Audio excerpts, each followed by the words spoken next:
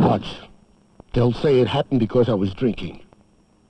Sure, I was drinking. But I was also eating. Mm, that third double martini was starting to get to me.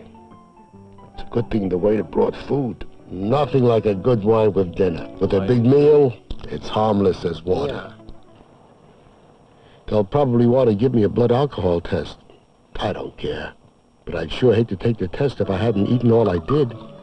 A meal like I just had really soaks up the alcohol. Like a sponge. Oh boy, I kind of overdid it tonight with all that eating and drinking. But everybody knows that you can drink all you want, as long as you eat enough. Sure, Mac. Sure.